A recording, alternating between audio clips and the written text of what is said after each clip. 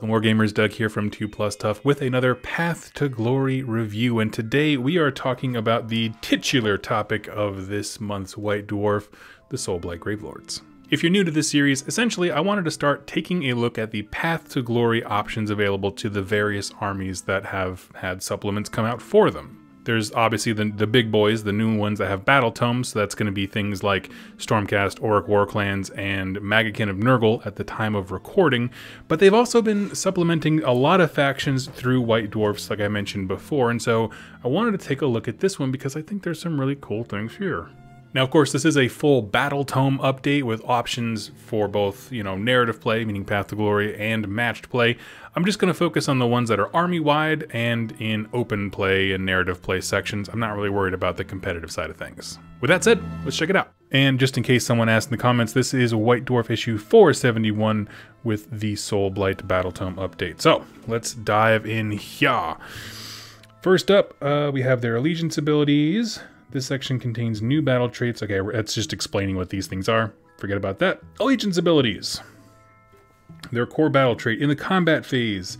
After a friendly Soul Blight Gravelord's hero that is not a monster has fought, meaning they can't be anyone on a zombie dragon or terrorgeist, in that phase for the first time, you can pick one friendly summonable unit that has not yet fought in that phase that's within 3 inches of an enemy unit, and wholly within 12 of that friendly Soulblight Gravelord's hero, and they can fight.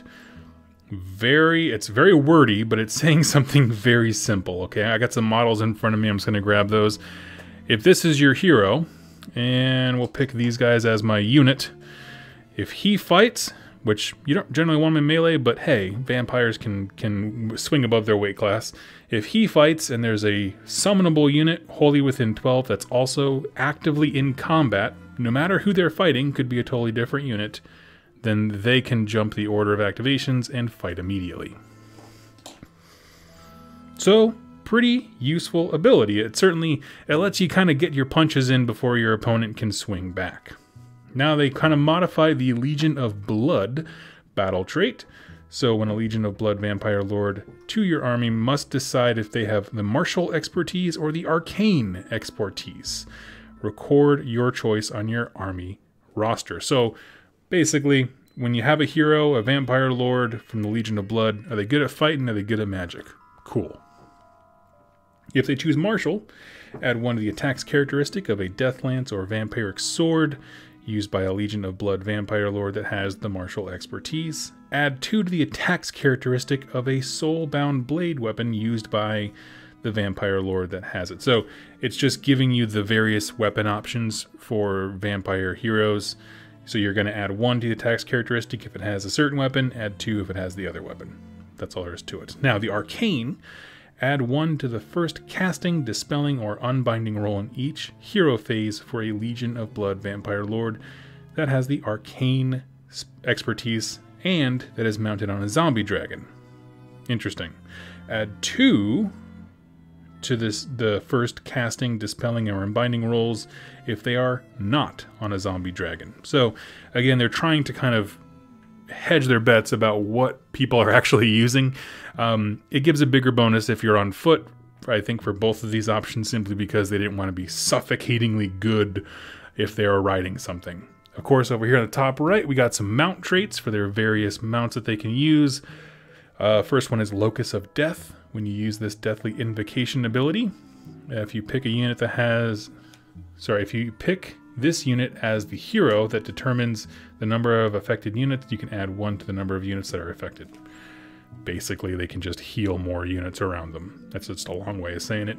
And then Fetid Miasma. When this unit attacks with its Pestilent Breath, you can re-roll the dice that determines the damage characteristic for that attack. There you go. As far as core battalions go, these can be used in both matched play, open play, narrative play, whatever you want. And there are some interesting ones here. Uh, the first one is Radukar's Court, which used to be a narrative battalion, where it has all of the characters from, uh, what is the name of it? Warhammer Quest Cursed City. That's what it was called. Man, I had a brain fart there. So um, all of the named characters and stuff from there, you can now put them into one faction, which is kind of a nice thing. You, can have a narrative battalion centered around him. And it'll get you an extra enhancement It's cool. It's not amazing, but it's cool.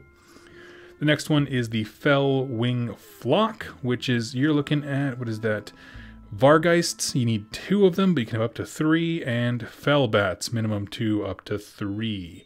For that, they get Swift, which allows them to basically do the at the double or forward to victory without a command point being spent. It's interesting. I don't see a lot of those units personally. I mean, I don't see a lot of, I don't know. They're, they're an interesting thing. If you just want a skirmishing, you know, fast moving stuff, it's an interesting battalion. And then the last one is the Death Stench Drove, which is one corpse cart. And I do believe there are multiple types of corpse carts you have to have a minimum of two dire wolves and two deadwalker zombies, and for that you get slayers. So they can use all out attack or unleash hell. None of those things have a gun, so don't worry about unleash hell. Um, all out attack without a command point being spent. You know, is it great? No. Is it cool? Kinda. Yeah, why not? If you want to have a zombie thing, go for it. Go for your zombie thing. I like it. I almost kind of wish that this was um, unified, as if like the you know the guy in the corpse cart raises the entire field of all four of those units at once. It might be a little bit too much because those units are particularly great but it would be really cool and thematic. So we're going to move past open play. We're going to move past match play because that's not what we're here for. We're talking path to glory. Summonable units. Now, this is a massive change if you are playing Path to Glory to the point where me and my buddy Jeremy are kind of like resetting our uh, rosters because of it. Summonable units are not recorded on your order of battle. Instead, when you pick your army for a battle, you can include up to three summonable units for each Mortarch you include in the army, up to two summonable units for each vampire hero that is not a Mortarch in your army, and up to one summonable unit for each other Gravelord's hero. So a Necromancer can bring one summonable unit, Vampire Heroes is two, Mortarchs is 3. Now they still cost points when you're building your list, but they don't go on your roster. They don't suffer casualties. The idea is you're just collecting dead bodies as you go, which is a really neat thing. Um, for the quests, uh, sorry, so pause right there because I want to emphasize how big that is. We've been doing casualty scores as normal for Path to Glory this entire time, so now they don't count at all. And the number of summonable units you can bring is now tied to what heroes you choose. That's an interesting idea. I like it quite a bit.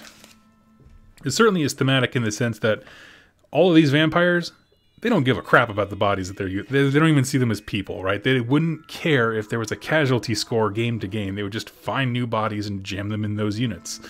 So it's super thematic. I like that. Uh, for their quests, they got this one, right? Just one? Okay. Um, it's called Monstrous Undead Dragons. Some of the zombie dragons ridden by the Soulblight Gravelord heroes are amongst the most terrifying creatures of their type. Pick one hero with a zombie dragon mount from your order of battle that does not already have a mount trait enhancement. Then pick a mount trait that you're allowed to take. Write down that mount trait in your quest log. At the end of a Path to Glory battle, you complete this quest if that unit destroyed any enemy units during the battle. So, basically, you pick a mount trait, you pick a, a mount, right? Whatever zombie dragon or whatever you have. And um, if they kill a thing, you get a mount trait. That's pretty cool. It gets added to your vault. Um, when you complete this quest, you can add the mount trait you picked to your vault, but it can only be given to the unit you picked when you embarked on the quest. If that unit's removed from your order of battle, like they die die, then remove the mount trait as well interesting stuff. Uh, below that, they have some veteran abilities. Now, veteran abilities are very hit or miss. Like, it seems like some were kind of tied to specific units in the Stormcast one. Here, they kind of doubled down on that. They made the veteran literally Blood Knights only, Vargheist only, Corpse Cart only, that kind of thing. It didn't really work that way in the Soul and the sorry Stormcast book, but it's one of those things that it kind of did because there's only some units you would actually use those veteran abilities on. So I kind of like this more. It's a bit more transparent, if I'm honest with you. Um, the first one is for Blood Knights, spurred into action. This unit can use this veteran ability uh, once per battle when it uses its Riders of Ruin ability for the first time. When it does so, it can run instead of making a normal move and can still charge later in that turn. So they have this ability to kind of back out of combat and come back in. But now that they can run, they can actually back out way further and potentially move from one combat to another to deliver those mortal wounds. Very cool. Eager for Bloodshed is for Vargheists. Um, if this unit is circling high above as a reserve unit, when it's set up, uh, let's see, when it is set up, you can set it up more than 2d6 inches from all enemy units more than 9. So, let's think about this. You get a choice, okay? So you're going to roll 2d6 when you want to set them up. Let me grab a die here. So essentially you get a choice, okay? You get 2d6, roll those out. This would be an 8. I can set them up outside of 8 inches rather than the standard 9. Now let's do, uh, let's say this, 5 inches. I can choose 5 inches rather than 9. You can see what's going on here. However, if you were to roll, say, this would be a 10, the Blood Bowl symbols on the 6. If you roll a 10, you're like, oh, I don't want to make my charge worse. I can choose instead to stay outside 9 inches. So it's a gamble, but it's an interesting one, right? I mean, it could absolutely go uh, insane.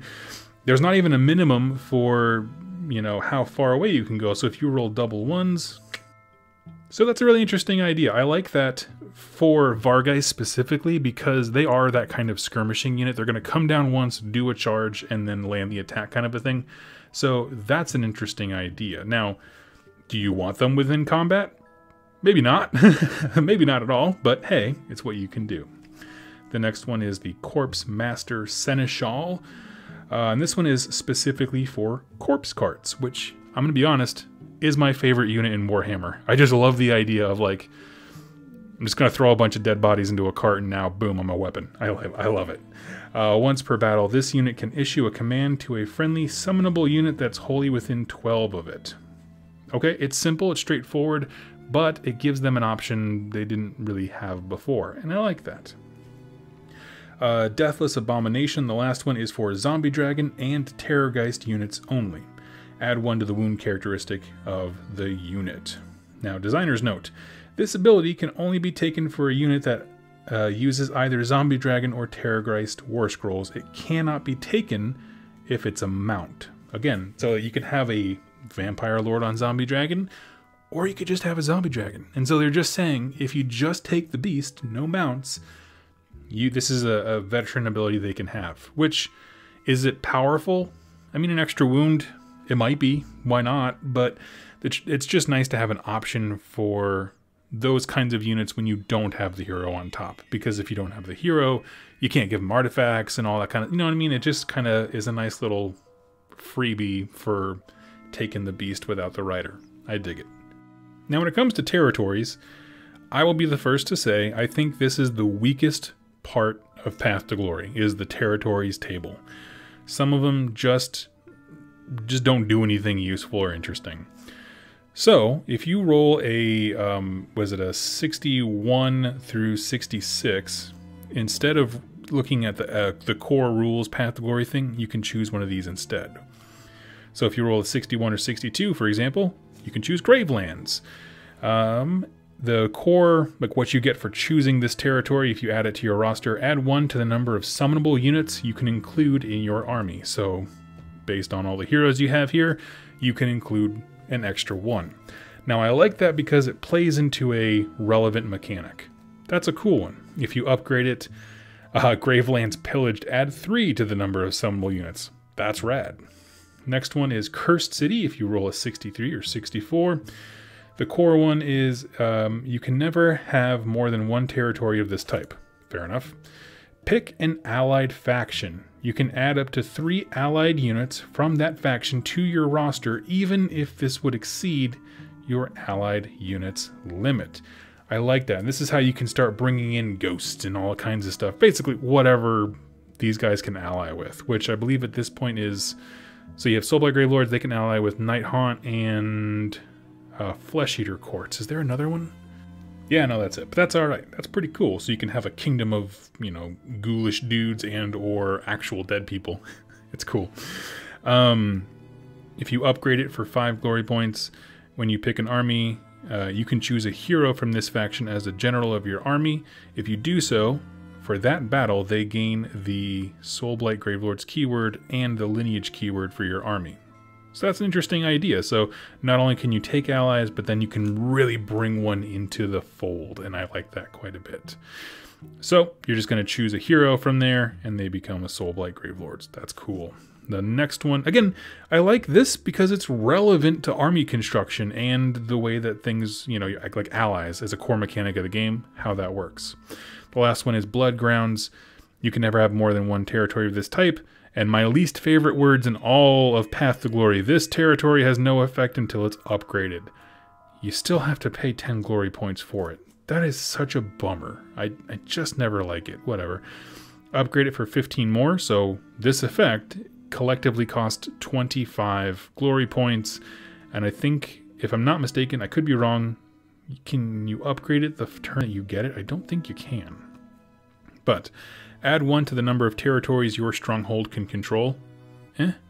The number of barracks it can have, and the number of outposts it can establish. Now, here's the thing barracks allows you to put more units on your roster, outposts do jack. Like, like literally, if you look at the side text of outposts in the core book, it says like future supplements will increase will have outposts that can do stuff and it's like cool neat super duper so we don't have that yet. So i mean it might it might in the future be really cool. Right now it just it kind of sounds like a wet fart to me but whatever. I really like the first two. That's cool. I'm, I'm down with those. Um, heroic upgrades i think is the last thing here. Is that right? Yep it is.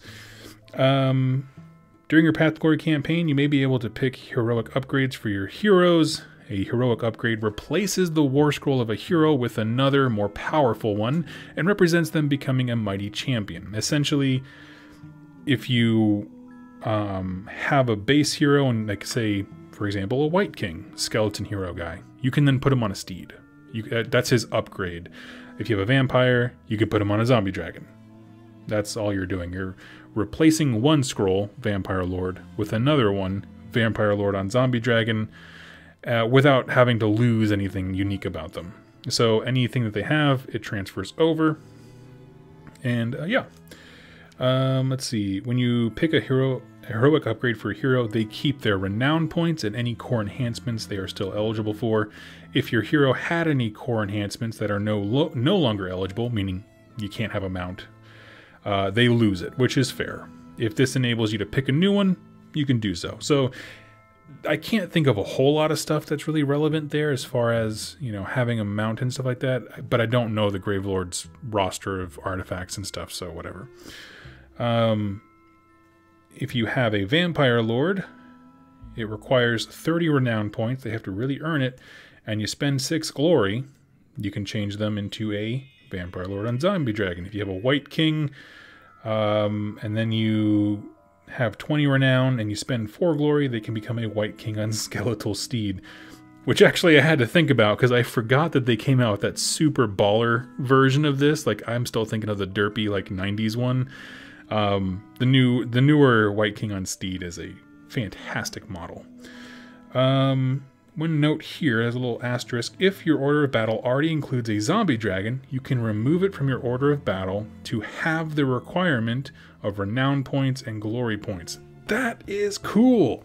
So if you already have the beast and you have the rider, it's way cheaper to just, you know, play your Yu-Gi-Oh! Fusion card and then have them merge together. Polymerization, that's what it is. Have them merge together into one unit. I like that a lot. That's a cool way to add it. And that's basically it for the Soul Blight Gravelords. So rounding that discussion out a bit, I'm just looking over here. I like the changes to the army. You know, again, I'm not a competitive player. If you're looking for information about that, no, I'm not the channel for it. Go check out Warhammer Weekly. Um, just looking over the Allegiance ability. Legion of Blood seems really cool. Um, I like the battalions they got because they are thematic. I think core battalions are a fun way to just let you still do narrative focused armies but not have to worry about losing out on things. Like you still get like a, a consolation prize, even if they're derpy, right? The Radukar's court one with all the Cursed City characters. Are you really going to take it? Maybe not, but you know what? It would be a really fun mission, so why not take it? And this way you're not losing out entirely on some of the other rules that factions can have. The Path to Glory section, I will say, is quite interesting. The move away from having summonable units on your roster is terrific. They still cost points to bring, but these guys would not give less of a crap if if a couple of zombies died. They would just reanimate them anyway and then throw more bodies on the pile. So I think that was an incredibly cool um, thematic move on their part. Beyond that, you know, the other stuff is pretty simple. They added some mount traits and then a quest to obtain them, and then a cool way to upgrade your heroes. And I love that little subtext of like, if you already have a zombie dragon, it's way cheaper just to, you know, A plus B rather than having to go out and hunt a zombie dragon in particular. The veteran abilities, I think, is really where it shines because I like being locked into specific units because it makes me want to bring them to achieve them. It's almost like an achievement than it is just another ability you add to their war scroll. I like that a lot. And the territories, you know, the first two were really cool as far as affecting summonable units because it's relevant to the new rules. I love when they do that. And then the second one, as far as allies go, Death factions, not so much Soul Blight, but the other ones can feel a little limited, so giving you a chance to bring some other cool things in, I like that. And then the other one, I'm kind of like Ipsum Lorem, I don't care because one, it does nothing when you initially buy it, and two, no supplements have outposts yet, so it's like this is irrelevant.